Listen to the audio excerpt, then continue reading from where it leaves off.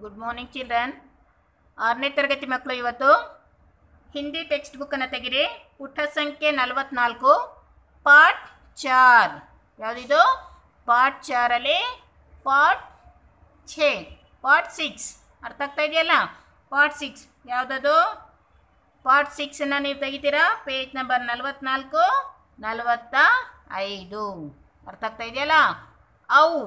ಯಾವುದು? ಅವಕ್ಕಿ ಮಾತ್ರ.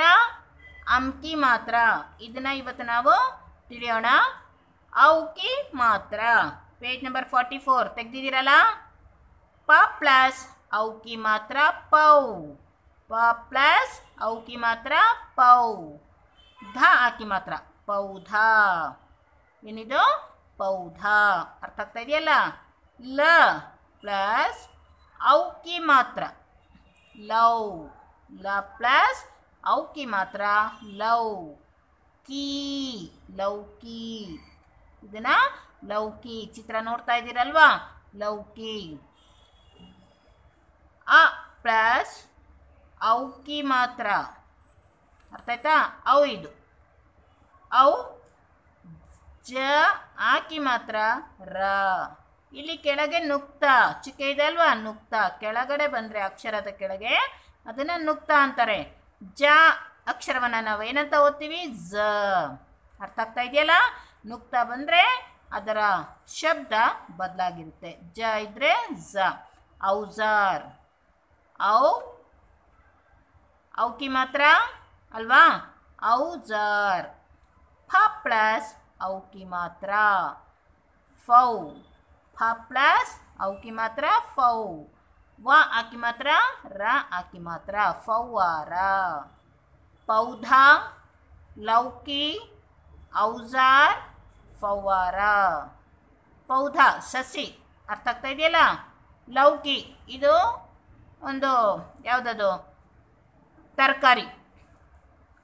ಇನ್ನು ಔಜಾರ್, ಸಾಧನಗಳು. ಕಬ್ಬಿಣದ ಸಾಧನಗಳು ಔಜಾರ್.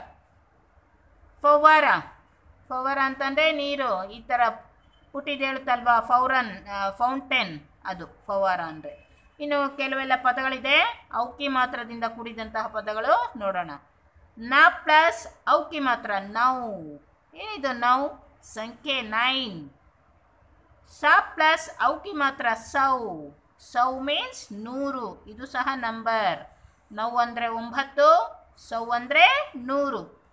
ಸೌದ ಸ ಔಕಿ ಮಾತ್ರ ಸೌ ದ ಆಕಿ ಮಾತ್ರ ದ ಸೌದ ನೌ ಸೌ ಸೌದ ಮೌಸಿ ನೌಕಾ ಕೌನ್ ಕೌವಾ ಚೌಥಾ ಔಲಾದ್ ಔರತ್ ಮೌಸಮ್ ಔಷಧ್ ಗೌತಮ್ ದೌಲತ್ ತೌಲಿಯಾ ಚೌಕಿದಾರ್ ನೌ ನೌಕಾ, ಔಲಾದ್, ಗೌತಮ್. ಸೌ, ಕೌನ್, ಔರತ್, ದೌಲತ್. ಸೌದಾ ಕೌವಾ ಮೌಸಮ್ ತೌಲಿಯಾ ಮೌಸಿ, ಚೌಥಾ, ಔಷಧ್, ಚೌಕಿದಾರ್. ಇದು ಔಕಿ ಮಾತ್ರ ಆಯ್ತಲ್ವ ಮಕ್ಕಳೇ ಈಗ ಅನುಸ್ವಾರ್. ಯಾವುದೀಗ? ಅನುಸ್ವಾರ್. ಹಾಗೆ ಒಂದು ಸೊನ್ನೆ. ಅರ್ಥ ಆಗ್ತಾ ಇದೆಯಲ್ಲ? ಹಾಗೆ ಒಂದು ಸೊನ್ನೆ ಕೊಟ್ಟಿದ್ದೀವಿ. ಅದನ್ನ ಅನುಸ್ವಾರ್. ಘ ಪ್ಲಸ್ ಅನುಸ್ವಾರ್ ಘನ್. ಟ ಘಂಟ. ಘ ಪ್ಲಸ್ ಅನುಸ್ವಾರ್ ಟ ಹಾಕಿ ಮಾತ್ರ. ಘಂಟ ನೋಡಿ ಇಲ್ಲಿ. ಅನ್ ಅನುಸ್ವಾರ್. ಡ ಪ್ಲಸ್ ಅನುಸ್ವಾರ್.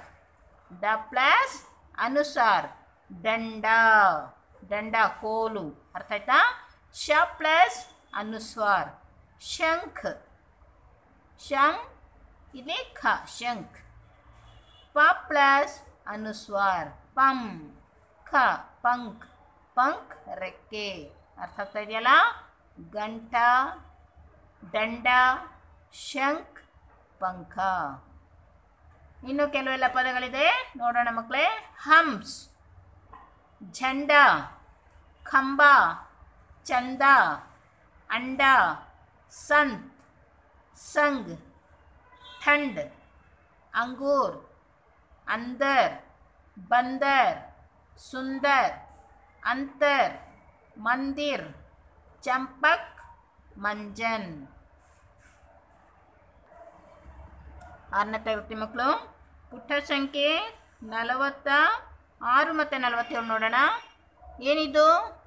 ವಿಸರ್ಗ್. ಏನಿದು? ವಿಸರ್ಗ್. ನೋಡೋಣ. ಚಂದ್ರಬಿಂದು. ಈ ಥರ ಚಂದ್ರಾಕೃತಿ ಕೊಟ್ಟು ಮೇಲೆ ಒಂದು ಚುಕ್ಕೆಯನ್ನು ಕೊಟ್ಟರೆ ಚಂದ್ರಬಿಂದು ಅಂತ ನಾವು ಕರಿತೀವಿ ಅದನ್ನು. ಚಂದ್ರಬಿಂದು. ಮತ್ತು ವಿಸರ್ ಪುಟ ಪಾರ್ಟ್ ಸೆವೆನ್ ಏನಿದು? Part seven page number forty six forty seven ಗೊತ್ತಾಯ್ತಾ? ಪಾರ್ಟ್ ಸೆವೆನ್ ವಿಸರ್ಗ್. ಚಂದ್ರಬಿಂದು. ಆ ಪ್ಲಸ್ ಚಂದ್ರಬಿಂದು. ಅಂಗೂಠಿ. ಹಾಗೆ ಚಂದ್ರಬಿಂದು ಕೊಟ್ಟರೆ ಅಂಗೂಠಿ ಅಂಗೂಠಿ. ದ ಪ್ಲಸ್ ಚಂದ್ರಬಿಂದು ತ, ದಾಂತ್. ಅಂಗೂಠಿ.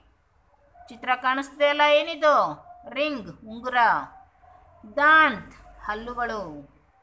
ಪ ಹಾಕಿ ಮಾತ್ರ. ಪ್ಲಸ್ ಚಂದ್ರಬಿಂದು.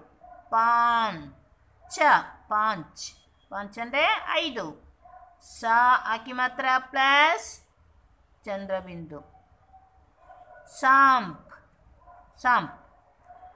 ಅಂಗೂಠಿ ದಾಂತ್, ಪಾಂಚ್, ಸಾಂಪ್. ಅಂಗೂಠಿ ದಾಂತ್, ಪಾಂಚ್, ಸಾಂಪ್. ಇನ್ನು ಕೆಲವೊಂದು ಪದಗಳಿದೆ ನೋಡೋಣ. ಆಂಧಿ, ಬೂಂದ್, ಸೂಂಡ್, ಟಾಂಗ್. ಬಾಂಟ್ ಚಾಂದ್, ಆಂಕ್ પૂંછ આંવલા ಉಂಗಲಿ, ಆಂಚಲ್, ಬಾನ್ಸುರಿ, ಆಂಗನ್, ಕಂಟೀಲಿ, ಢೂಂಡನ, ತಿತಿಲಿಯ. ಮಕ್ಕಳು ಇವಾಗ ಪುಟ್ಟ ಸಂಖ್ಯೆ ನಲವತ್ತ ಏಳು ಈಗ ನಾನು ಏನು ಹೇಳ್ಕೊಟ್ಟಿದ್ದೀನಿ? ನಲವತ್ತ ನಾಲ್ಕು, ನಲವತ್ತೈದು, ನಲವತ್ತಾರು ನಲವತ್ತ ಏಳು ಪೇಜ್ ನಂಬರ್ ನಲವತ್ತ ಐದು, ನಲವತ್ತ ನಾಲ್ಕರಿಂದ ನಲವತ್ತೇಳರವರೆಗೂ ಸಹ ನೀವು ಕ್ಲಾಸ್ ವರ್ಕಲ್ಲಿ ಈ ಏನು ಮಾತ್ರಗಳ ಹೆಡ್ಡಿಂಗನ್ನು ಹಾಕ್ತಾ ಅದೇ ರೀತಿ ದೂರ ದೂರ ಅಂತರದಲ್ಲಿ ಬರೀತೀರ ಹೇಳಿಕೊಂಡು. ವಿಸರ್ಗ್. ಎರಡು ಸೊನ್ನೆಯ ಚಿಹ್ನೆ ಏನಾಯಿತು? ವಿಸರ್ಗ್. ವಿಸರ್ಗ ಪ್ರಯೋಗ ಪ್ರಯೋಗ್. ಪ್ರ, ಪ ರಕ್ಕಿ ಮಾತ್ರ ಆಕಿ ಮಾತ್ರ. ಪ್ರಾ ಪ್ಲಸ್ ತ ಪ್ಲಸ್ ವಿಸರ್ ಪ್ರಾತಃ. ಪ್ರ ಆಕಿ ಮಾತ್ರ ಪ್ಲಸ್ ತ.